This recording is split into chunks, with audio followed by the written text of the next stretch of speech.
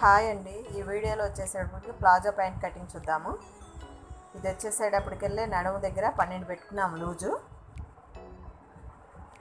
అలాగే పొడవు వచ్చేసేటప్పటికెళ్ళే పిస్తా పొడవు పన్నెండు పెట్టుకుంటున్నాను.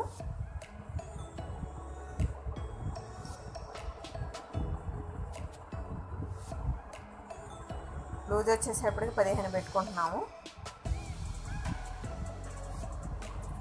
కాళ్ళు లూజ్ వచ్చేసేపటికి కింద ఏడు పెట్టుకుంటున్నాము. ఈ పన్నెండు దగ్గర నుంచి పదిహేనుకి అలా క్రాస్గా తీసుకోవాలి ఇది పిస్తాకి. టేపు ఇలా క్రాస్గా వేసుకొని గీసుకుందాం ఇప్పుడు. ఈ వీడియోని చివరి వరకు చేయకుండా చూడండి. లాస్ట్ వీడియోలో వచ్చేసరికి ప్లాజా ప్యాంట్ వేరే స్టైల్లో కుట్టాము కట్ చేసాము. ఇది వేరే స్టైల్ అండి.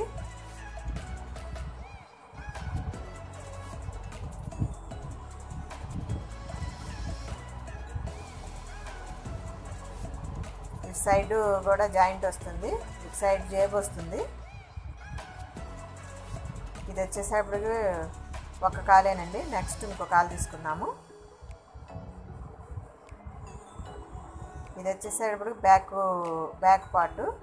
బ్యాక్ వచ్చేసేటప్పటికెళ్ళే ఫ్రంట్ కంటే రెండు ఇంచెస్ పిస్తా డౌన్ ఉండాలి. ఫ్రంట్ కంటే బ్యాక్ ఎక్కువ ఉంటుంది పిస్తా.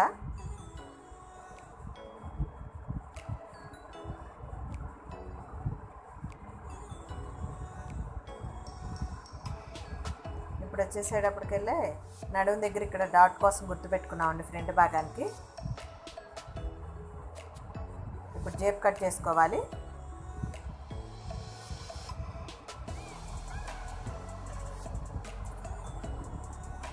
ఇప్పుడు నడుము బెల్ట్ కోసం వెనక భాగం వచ్చేసరికి ఎలాస్టిక్ ఫ్రంట్ వచ్చేసేటప్పటికి బెల్ట్ వస్తుంది.